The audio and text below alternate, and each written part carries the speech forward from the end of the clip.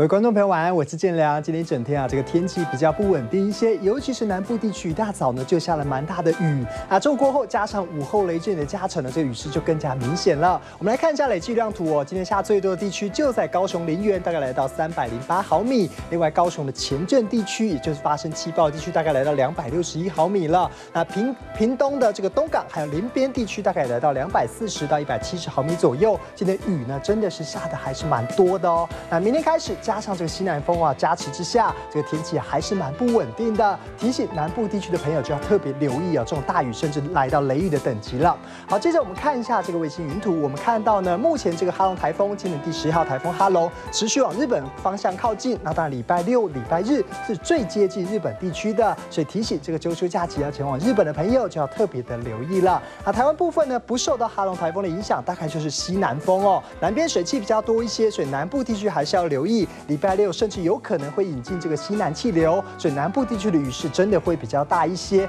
另外，其他中部以北啊、东半部大概都属于这种短暂性的阵雨。中午过后还要留意会有这种午后的雷阵雨了。明天就是周休假期，我们来看一下未来三天天气到底如何。我们看到各地区啊都是这个下雨的符号，但是南部地区啊可能是因短暂性阵雨或雷雨，雨势还是比较明显一些。但是这个周休假期啊，大概都是以室内活动为主，会比较保险的。好，接着我们就看到各地区详细的温度预测。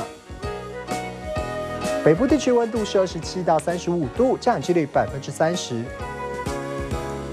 中部地区温度是二十六到三十四度，降雨几率百分之三十到六十。南部地区温度是二十六到三十二度，降雨几率百分之七十到八十。东部地区温度是二十六到三十三度，降雨几率百分之三十到六十；外岛地区温度是二十七到三十四度，降雨几率百分之十到三十。